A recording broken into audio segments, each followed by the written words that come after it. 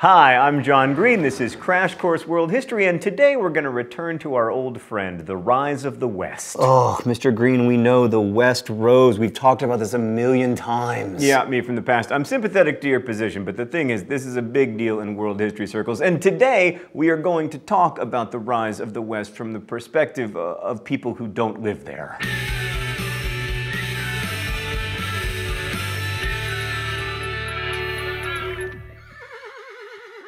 So today we're going to look at how some people who experienced the rise of the West firsthand responded to it. We're going to focus on East Asia and also the Middle East, which is also Asia. Anyway, both of these communities dealt with European imperialism in the 19th and early 20th centuries. So just a quick note here, European imperialism affected millions of people, including agricultural and industrial workers, very few of whom left records of their experience. So we end up relying on the words of people who wrote things down, intellectuals. Now many of those people were European, but in this case, most of what we'll be examining today is covered by a fascinating book by Pankaj Mishra called The Ruins of Empire, The Revolt Against the West and the Remaking of Asia. Mishra's book draws heavily from the perspectives of three Asian thinkers, and I will remind you, mispronouncing things is my thing. He looks at Middle Easterner Sayyid Jamal ad-Din al-Afghani, Liang Qichao from China, and Rabindranath Tagore from India. Through their eyes, we can see that Asians did recognize the coming dominance of Europe, but they also developed ideas about imperialism that provided a counter counterweight to Western dominance and gave them a way of imagining their role in this new world. All right, let's go straight to the thought bubble. Although we tend to equate European imperialism with the late 19th century, especially the carving up of Africa after the Berlin Conference of 1884, for many Asians, the disaster began earlier. In China, the Opium Wars began a train of humiliations, the most memorable of which occurred with the destruction of the Summer Palace in 1860. And imperialism wasn't great for the Muslim world either. By 1896, Al-Afghani described Muslims under European European imperialism this way. The foreigners chain up Muslims, put around their necks a yoke of servitude, debase them, humiliate their lineage,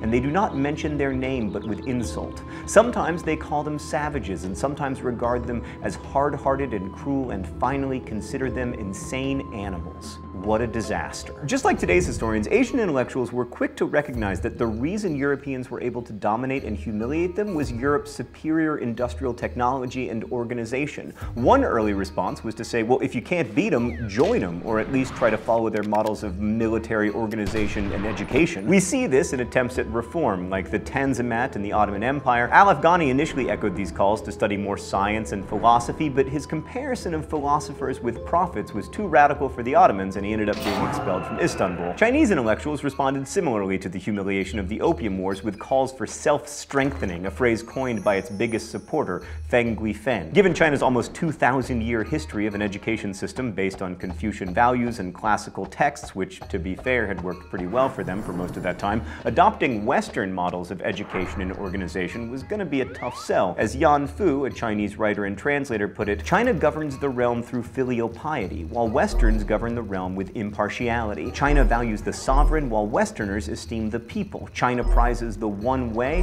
while Westerners prefer diversity. In learning, Chinese praise breadth of wisdom while Westerners rely on human strength. One Chinese reformer, Kang Youwei, took up the challenge of blending Western and Chinese ideas of governance by attempting to update Confucianism for the modern world and arguing that political reform and mass mobilization were central concerns for Confucius himself. Thanks, Thought Bubble. So all of that gets to a big question. Imperialism was a disaster for a lot of people. But there were things about what the West was doing to control much of the world that were obviously working. So the question for people outside the West became, what, if anything, do we take from this and try to borrow and integrate into our own communities? Well, in addition to education and military reforms, many Asian intellectuals felt that Europe's strength was rooted in its political organization into nation states. That sounds a lot like today's historians and also economists. Everyone's crazy about nation states, except the Mongols.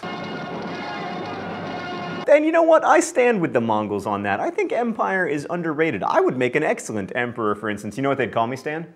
Genghis John. Anybody? Yeah? I hate myself. But anyway, some of these intellectuals became proponents of nationalism. Like by 1879, Al-Afghani was advocating that Muslims begin to think of themselves as a nation in the sense of a culturally unified people. Here he is in words that recall the German nationalists of the time. There is no happiness except through nationality, and no nationality except through language. A people without unity and a people without literature are a people without language. A people without history are a people without glory, and a people will lack history if authorities do not rise among among them to protect and revivify the memory of their historical heroes so that they may follow and emulate. All this depends on a national education which begins with the fatherland, the environment of which is the fatherland, and the end of which is the fatherland. Are you sure that wasn't a German nationalist stand? Because that was a lot of fatherlands. Maybe it was translated by a German. And then there's India. As the most thoroughly colonized Asian territory, India's feelings about nationalism were very complicated. Some Indians wanted to create a European-style state organized around Hinduism, but of course India had a large Muslim minority, and also Hinduism, with its caste divisions, wasn't great for creating political unity. Others, like Aurobindo Ghosh, were critical of adopting too many European ideas, worrying that India, quote, was in danger of losing its soul by an insensate surrender to the aberrations of European materialism materialism. Aberrations of European materialism? I don't know what you're talking about.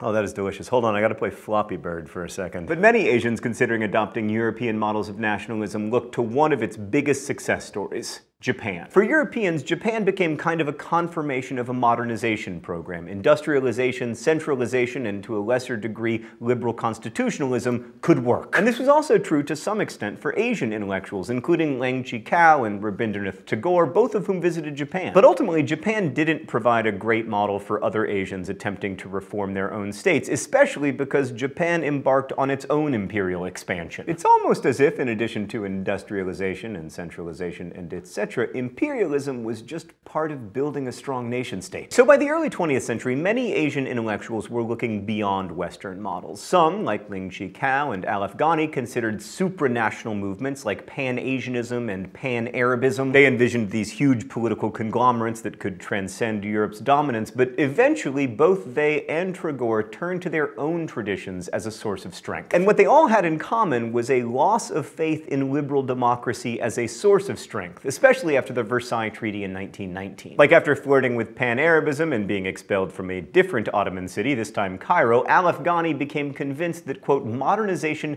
hadn't secured the Ottomans against infidels. On the contrary, it had made them more dependent. He embraced the idea that the best defense against the West was Islam. Mishra says of this, as he saw it, attacking religion risked undermining the moral basis of society altogether and weakened the bonds that held communities together, precisely the weakening that had plunged Muslims everywhere into crisis. Now, this doesn't mean that he became what we today think of as an Islamist radical or an anti-modernist. Instead, he believed that the Quran contained its own calls for reform and that Islam could be a catalyst for change. Ultimately, al-Afghani believed that the transformation of Islamic society had to come from within. Like his favorite Quranic injunction was, God does not change the condition of a people until they change their own condition. In China, Liang Qichao came up with a different source of reform, the strong state. After the failure of the Boxer Rebellion in 1901, he wrote his awesomely titled On the New Rules for Destroying Countries. This was a critique of European imperialism, but it was also a call for a strong, somewhat authoritarian state that could stand up to the West. Nah, China would never do that.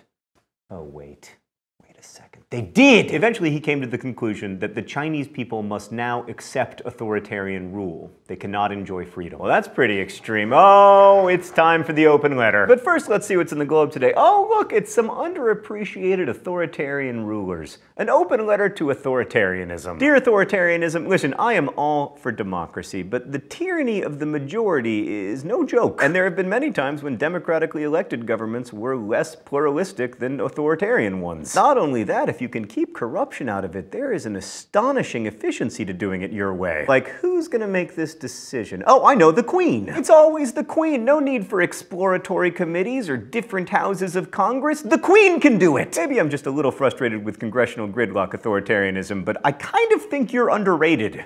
Best wishes.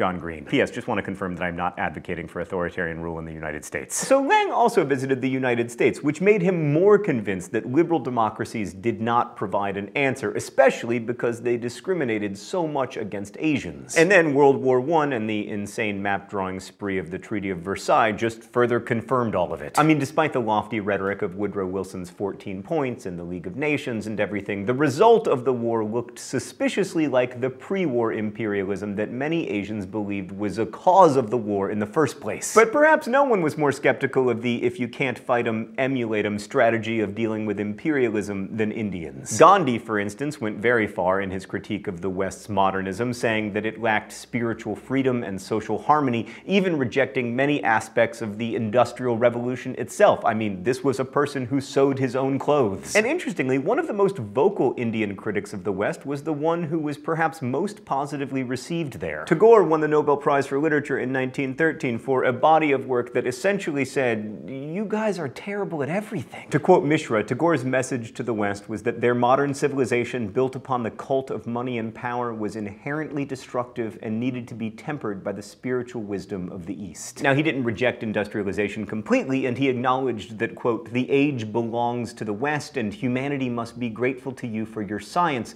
but cautioned an audience in New York that, quote, you have exploited those who are helpless and humiliated those who are unfortunate. So, as we've talked about before, our perspective on events really colors our version of the truth. Living as we do in an age dominated by more or less liberal nation states with varying degrees of market freedom, it can be tempting to consider their development as both inevitable and good. And I'm certainly not going to throw rocks at both a political system and a nation state that allows and enables me to put up videos like this and provides a space for millions of you to agree and disagree. But when we look at responses to imperialism, I mean, after we get beyond the obvious criticism that imperialism generally is bad, we start to focus on the responses to it that confirm this deep down feeling we have. You know, that it was bad to extract all of those resources, but ultimately we spread tolerance and pluralism and the nation state, and those all worked out. So I worry that we look at self strengthening in China or the Ottoman reforms as examples of where Asians were on the right track, and then we see the failure of those reforms as confirmation that Asians were somehow just unready or unfit for the benefits that the West had so generously offered. But if you look at the actual words and actions of Asians who experienced imperialism firsthand, you get a very different picture. Asian thinkers were critical of the West from the very earliest stages of new imperialism. Looking back at the evolution of the intellectuals we've talked about today reminds us that Asians were not simply victims of imperialism's ideology. In fact, they continue to influence ideas about the West today, and not only outside the West. When we in the West lament our insensate surrender to the aberrations of European materialism, we should recognize that that criticism didn't necessarily originate from within. Thanks for watching. I'll see you next week. Crash Course is made with the help of all of these nice people here in the Chad and Stacey Emigholz studio in Indianapolis, and it exists because of your support on Subbable.com. Subbable is a voluntary subscription service that allows you to support Crash Course directly so we can keep it free for everyone forever. So thank you to all of our Subbable subscribers, and thanks to you for watching. As we say in my hometown, don't forget to be awesome.